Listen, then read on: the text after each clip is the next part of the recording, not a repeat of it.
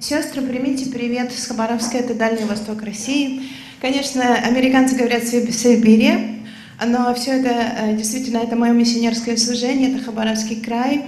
И я украинка из, из Украины, поэтому с Украины тоже искренний привет. Но знаете, когда был карантин, мне больше время приходилось быть на Украине, и там я написала э, мою авторскую песню «В любви нет страха». Знаете, карантин, он очень многих э, проверил.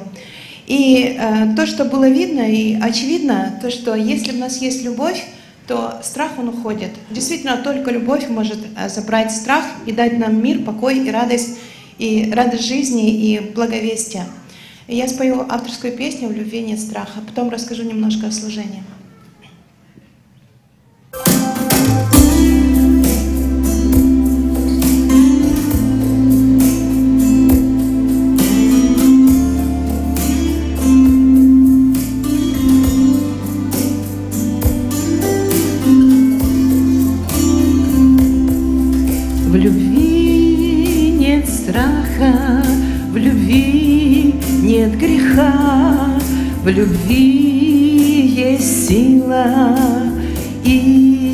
Полнота, Любовь святая, любовь Христа Дороже жизни, в ней красота, И только любовь способна прощать и чистое сердце собой наполнять.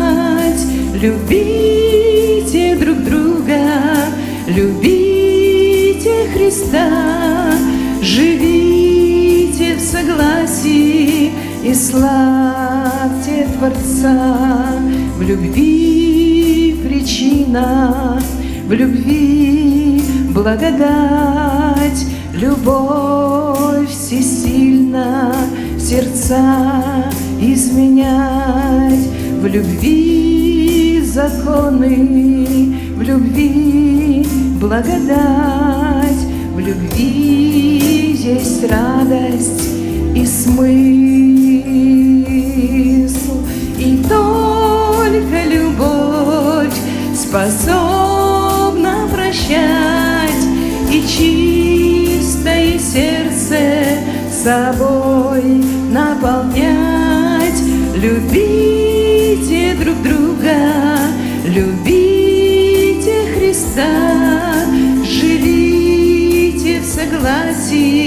и славьте Творца.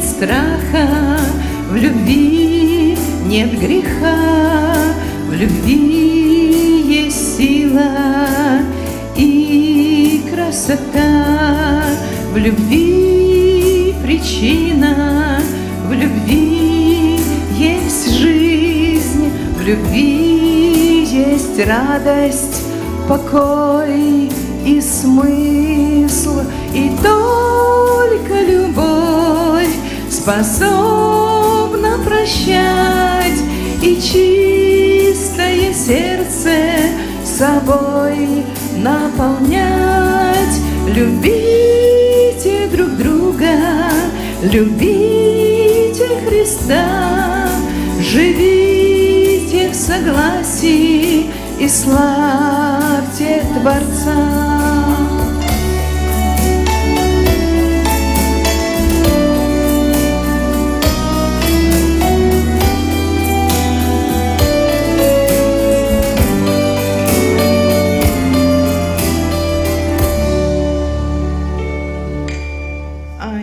Хочу немножечко рассказать о служении. Когда мне было 19 лет, меня пригласили в Хабаровск, американские миссионеры. Там я работала на христианском радио FBC. А мы вещали на Дальнем Востоке и христианские программы. Сейчас это радио в Москве и в Санкт-Петербурге, это радио Теос. И я работала в прямом эфире, и поэтому была возможность говорить Евангелие на Дальнем Востоке. И чтобы э, те, которые, ну, как и я, когда-то не знали, где Дальний Восток, то от Украины это 9 тысяч километров. Э, поездом нужно ехать от Москвы 7 суток, э, почти без остановок. Это в районе Китая, э, это в районе Японии и Кореи. То есть и на Дальнем Востоке, в Хабаровском крае, живут многие народы и народности, которые еще не знают Евангелия. Это на севере Дальнего Востока, там живут нивхи, эвенки, чукчи, итальмены, баты, ульчцы, нивхи, нанайцы. И вот в эти поселки мы едем зимой по зимнику, то есть э, там, вы знаете, среди тайги там нет дорог. А, нам нужно, чтобы летом делать христианские программы, это лагерь Завет мира, мы едем а, Туда по рекам плывем, несколько рек нужно приплыть, э, проплыть на теплоходе, чтобы доехать до каких-то нанайских поселков. А летом мы, е... Э, зимой мы едем по э, застывшим болотам, по рекам замерзшим. И достигаем эти народы. Сейчас, слава Богу, там есть церкви. Я помню, мы приехали в один поселок, он называется Победа.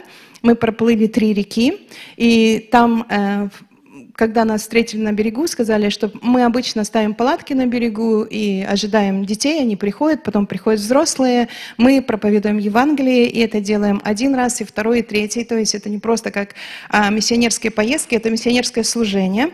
И в этом поселке, в Победе, я в школе видела человека, который читал Библию, она у него была очень затертая. Я спросила, сколько раз он читал, он сказал, он уже 20 раз Библию прочитал, но нет никого, кто бы туда доехал.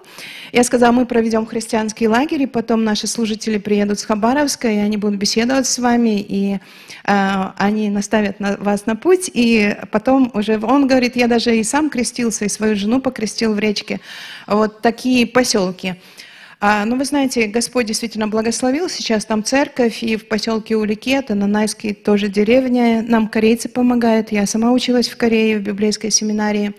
И слава Богу, что служение продолжается, и то, что говорит Иисус Христос, что вы будете проповедовать Евангелие до края земли, потому что действительно край земли, и если кто-то знает и помнит, то есть такой поселок Ванина, там есть 17 тюрем, и оттуда, туда приезжали, э, оттуда, от, из этих тюрем в течение 10 лет э, люди уезжали в ГУЛАГ.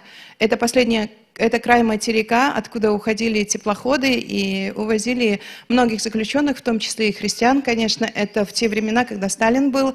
И в этом поселке сейчас тоже есть церковь. То есть, когда мы приезжаем на такие места, конечно, это очень э, важно э, проповедовать Евангелие там, где раньше были наши братья, э, сидели за веру, а в тюрьмах, а теперь там уже Господь создает церкви.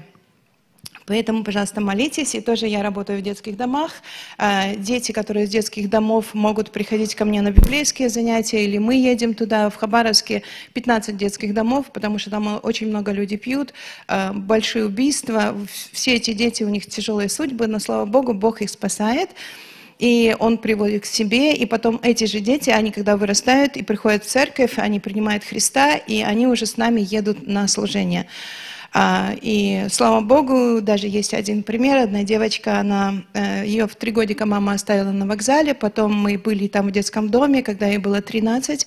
Она уверовала, приняла Христа, и Бог изменил ее жизнь, и сейчас она живет в Израиле, она вышла замуж, у нее своя семья, и много таких примеров, когда именно как бы постоянно мы э, делаем добро в детских домах. И сейчас я уезжаю в 20 э, после 20 из Киева в Хабаровск, я планирую поехать, и мы хотим посещать на Рождество детские дома, дарить детям подарки, говорить о Рождестве, ехать туда а, снова на север, поэтому э, если вы хотите, вы можете а, приобрести мой диск, поддержать наше служение или взять миссионерскую карточку и молиться, потому что ваши молитвы, они нас будут всегда сопровождать. Нам нужны ваши молитвы и ваша поддержка. Я спою еще одну песню из моего последнего альбома о том, как Бог говорит с нами.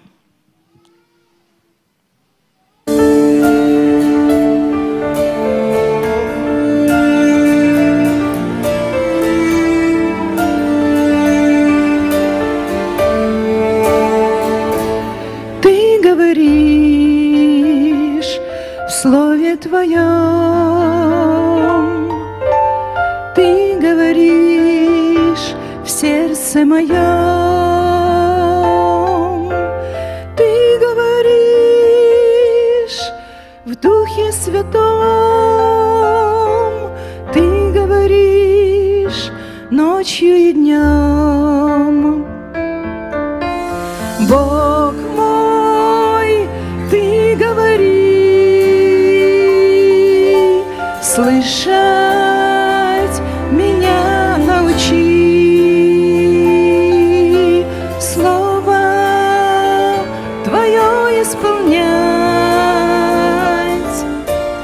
жизнью Тебя прославлять.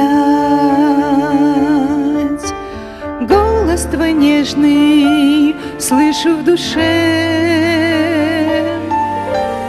Ты говоришь мне в тишине, что бы ни случилось, слышу слова. Оставлю тебя. Бог мой, ты говори, слышать меня научи,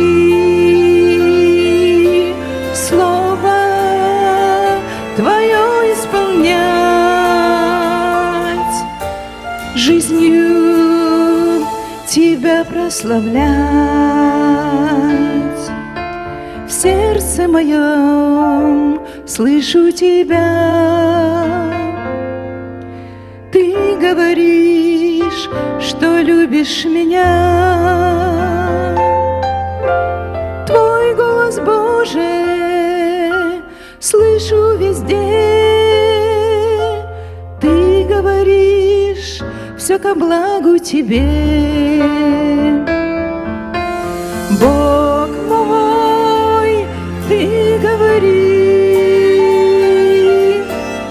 Слышать меня научи,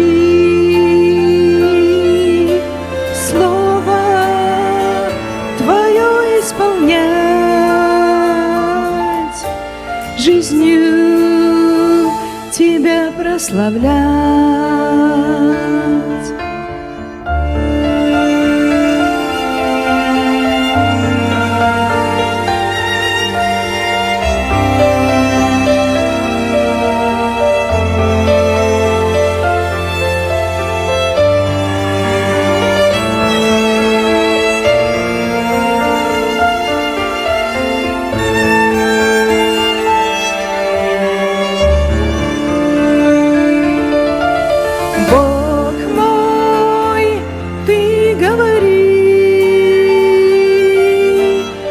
Слышать меня научи, Слово Твое исполнять, жизнью Тебя прославлять. Бог мой, ты говори, слышать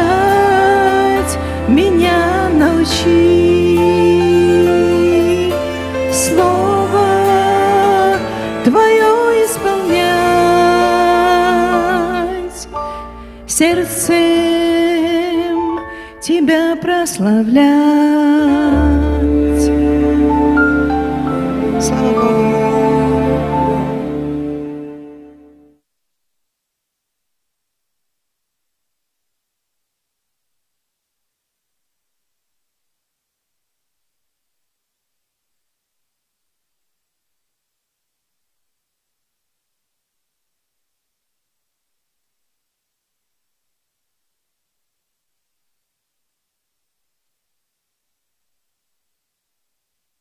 Дорогая церковь,